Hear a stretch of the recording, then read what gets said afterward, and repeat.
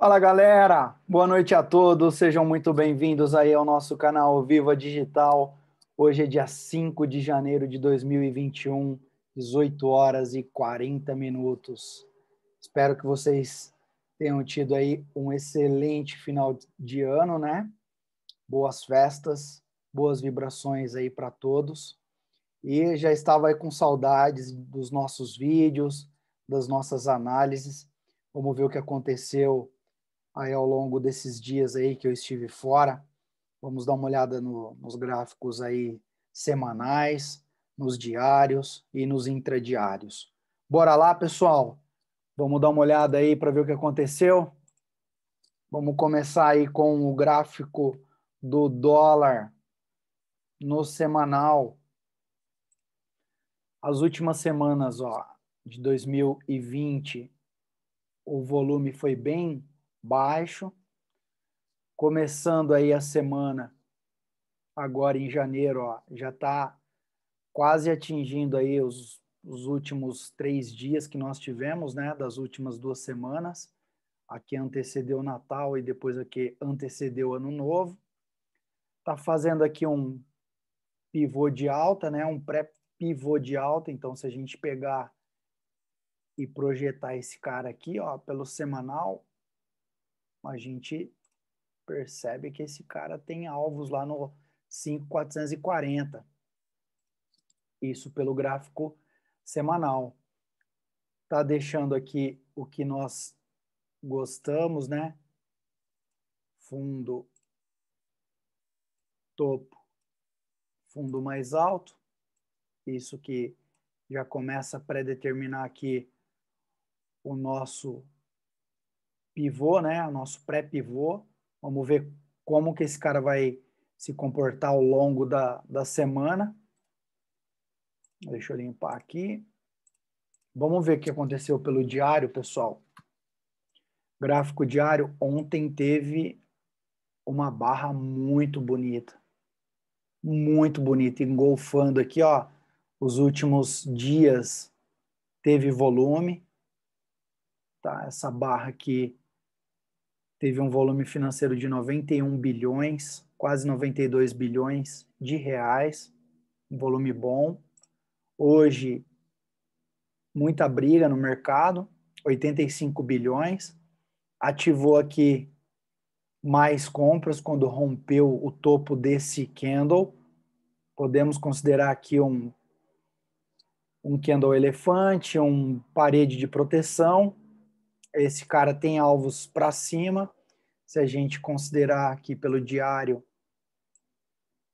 aqui como pivô, tá? Tem alvos lá no 5,40. Vamos ver o que esse cara vai fazer. Então, pelo diário, segue a alta dele. Ó, hoje teve muita briga.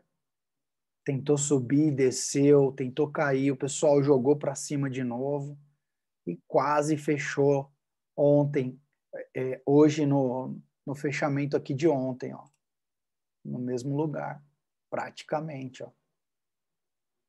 5,292,5, 5,300. Vamos dar uma olhada aqui nos 60 minutos, pessoal. 60 minutos. Ele até ativou tática da primeira hora, mas voltou para as médias. Aí aqui deixou um PC de compra. Quem comprou aqui conseguiu pegar aí 22 pontos, um stopzinho aí de 20 pontos, mas esse cara tem alvos acima. 15 minutos. Ele tinha aqui uma LTB, ó, foi rompida. Ele foi lateralizando ó, e pum, rompeu. Vamos ver o que esse cara vai fazer amanhã. Ó. As médias pelo 15 minutos também estão começando a apontar para cima. Média de 200 está aqui, média de 400 está aqui. E vamos ver se esse cara volta para fazer um pullback nessa região e depois busca as novas máximas. O índice futuro, pessoal, voltou lá para a região dos 119 mil tinha corrigido um pouco, 117, 116,900, que foi praticamente a mínima desse, desse candle, ó, 116,765, bateu o alvo desse pivô aqui, está dentro de um canal ó, de alta pelo semanal ainda, pode ser que seja um enforcado pelo semanal, mas ainda nós temos quarta, quinta e sexta, né? Vamos ver como que esse candle aqui vai fechar. O volume ainda está bem baixo, mas vamos ver se ele volta a romper a média aí de 21 períodos no volume. O gráfico diário, pessoal, deixou um dojizão feio, mas os preços ainda continuam trabalhando ó, acima das médias. Podemos considerar aqui um PC, ó, porque ele veio até próximo a média de 21 pelo diário. Então, se esse cara romper aqui amanhã, vai dar mais compras. E esse cara tem alvos lá no 121, 122 mil pontos. Tá? Vamos ficar esperto aí. 60 minutos, pessoal. Abriu num gap, ativou tática da primeira hora. Ó, ontem começou a cair, cair, fechou aqui depois, hoje, outro, abriu num gapzinho de alta, caiu, fechou gap, desceu 1.500 pontos, aí depois deixou um 9.1 aqui de compra, ó, 1.374 pontos, e está corrigindo. Então, o que esse cara está deixando aqui? Ó, um 9.3 com deslocamento de gatilho.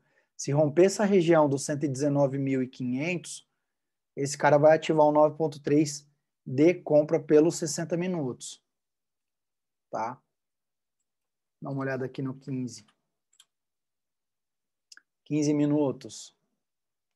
Desceu, ativou 9.1 de compra, não pegou stop da galera e depois foi embora. Pode ser que deixe um setup aqui, um PC, um ponto contínuo. Vamos ver se esse cara abre em gap de alta amanhã para gente. O Ibov no semanal, pessoal, não tem volume ainda, tá? Janeirão está começando, está sem volume o IBOV, mas trabalhando aí pelo semanal acima das médias. O diário deixou um martelo aqui, ou se fosse preto aqui, muitas pessoas diriam que isso aqui seria um enforcado, né? Mas continua, ó, bate na 9 do diário e volta a subir. Está bem forte. Se romper essa região aqui de máxima, 120, ou até é, os 120 mil pontos, esse cara vai, vai buscar alvos para cima. A gente até consegue projetar apenas esse martelo aqui, ó. 121, 665, depois 122, 825. Isso pelo gráfico diário. Pelos 60 minutos, o IBOV, pessoal, chegou a ativar aqui um tática da primeira hora e depois, ó, voltou tudo. Aí deixou 9.1 aqui e voltou a subir. Voltou a subir. Deixou uma estrela cadente pelo, pelo 60, mas ativou e está voltando. Ó. Magalu, pessoal, a gente continua com esse alvo aqui em 25,70, Magalu, pelo gráfico diário. Está fazendo fundos mais altos, topos, por enquanto, mais alto. Precisa romper 25,70 para buscar topos anteriores. Via varejo. Via varejo ainda tem um gapzinho aqui minúsculo para poder fechar, está congestionado, ó. não foi ainda, tem esses alvos aqui para cima, mas via varejo está numa região aqui de lateralização, consolidação, volume ainda está baixo. Vamos ver se ele rompe as médias aqui para cima para poder fazer um topo mais alto que esses topos anteriores aqui. Petro, muito forte, ó, vai lá no nosso alvo, e a gente já tinha projetado. teve volume. Petro hoje conseguiu impulsionar aí o índice para cima. Ó. Então, Petro 3 aí, Petro 4. Vamos dar uma olhada aqui. Em Petro 4. Ó, teve volume. E tá indo embora.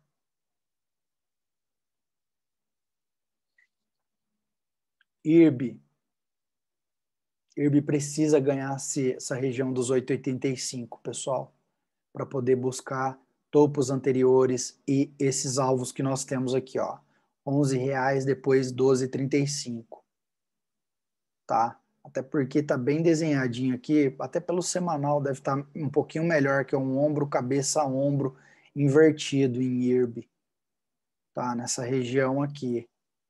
Mas precisa romper 8,85 para buscar os alvos superiores.